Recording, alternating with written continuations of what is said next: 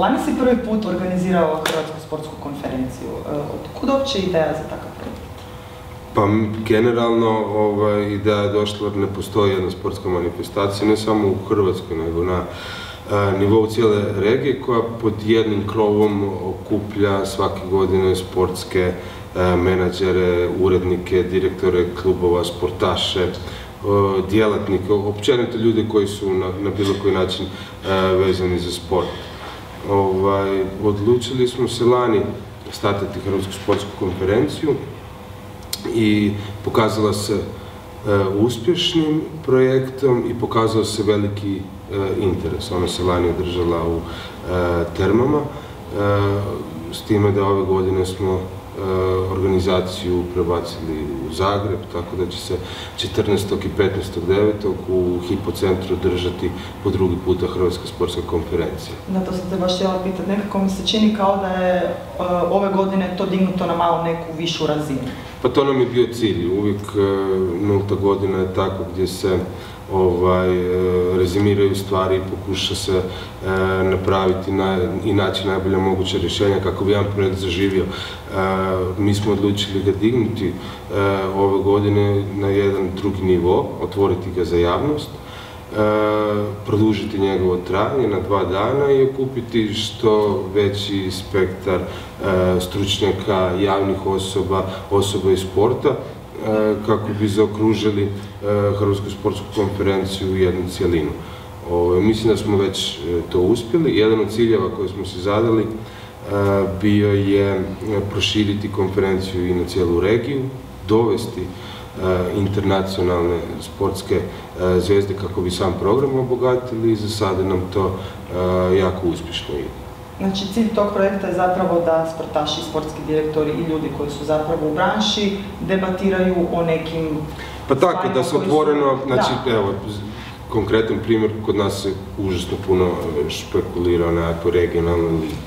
I stalno razno razni mediji izvještavaju o toj situaciji, ovaj, navodnim okupljanjima, druženjima, dogovorima a u principu ovaj, mi želimo otvoreno za sve one kojima je bitna ta tema i koji, žele učestvovati u jednoj takvoj debati, dati mogućnost da okupimo te ljude za jednim stolom u sklopu Hrvatske sportske konferencije, dajemo konkretne odgovore, pitanja, rješenja i sve ono ovaj, da, da se jedna takva tema odradi i zaključi. Mislim, to, to, to je ono što sportsku konferenciju u principu čini važnom i bitnom.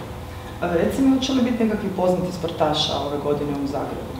Pa poznati, da, poznatih sportaša sigurno da će biti i, iz regije i naših domaćih sportskih zvijezda. Jedan novitet je ovaj ugovor koji smo potpisali sa Luisom Figom, što je velika stvar za samu konferenciju i uvelike će obogatiti njen program i biti poticaj drugim ljudima da se priključe. Ovaj, mislim da je Luis Figo sjajan ovaj, sportaš i prije svega sjajan čovjek i jedna od uloga njegovih u konferenciji će biti predstaviti svoju fundaciju kako bi možda uoči svjetskog prvenstva 2014. startili jedan projekt sa njim. I jesam dobio potporu ministarstva, recimo, za tako neki projekt koji je jako dobra ideja, a recimo nema ga nigdje u regiji? pa, ne znam, upoznati se sa situacijom u Hrvatskoj. U principu, u fazi nastajanja nečeg nikad nemaš široki spektar ljudi koji ti pomažu, od srca su tu za tebe i ovaj, daju nekakav obol e, samom projektu. Ja mislim da će doći red i na ministarstvo i druge e, državne institucije. Imamo recimo e, dobru suradnju sa Hrvatskim olimpijskim odborom i gospodinom Matešom. Mhm. Ovaj, dio projekta naravno ljudi koji aktivno sudjeluju u njemu su Gordon Kožulj i Dubrovko Šimenc. Budući da je projekt zahtjevan i ovaj, da bi pokrili široki spektar djelovanja, bitan je timski rad.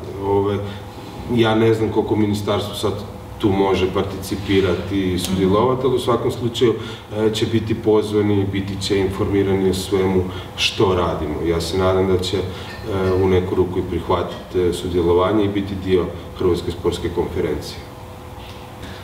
Reci mi, hoće li se u sklopu te Hrvatske sportske konferencije održavati možda nekakve humanitarne nogometne utakmice sa zvijezdama, što našim, što? Pa, e, činjenica da Hrvatska sportska konferencija je konferencija svih sportova. Znači, mi nismo usko vezani za nogomet.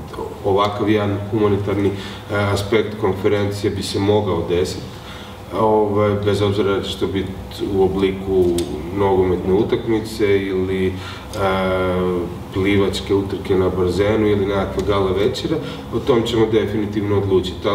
U svakom slučaju, ako će se ukazati mogućnost da i kroz Hrvatsku sportsku konferenciju kupimo e, sportaše koji su voljni e, na neki način ovaj, dati svoj doprinos nekoj od udruga ili E, teškim socijalnim slučajevima, svakako kao organizatori konferencije da ćemo potegnuti tu inicijativu.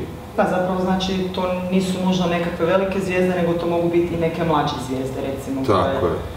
Generalno nije, e, radi se, generalno nije, pitanje nekakve super e, mega zvijezde strane domaće, bitno da cijeli tim ljudi koji se nađe na konferenciji da zajedno naprave i e, neku lijepu stvar, ako će biti moguće, naravno.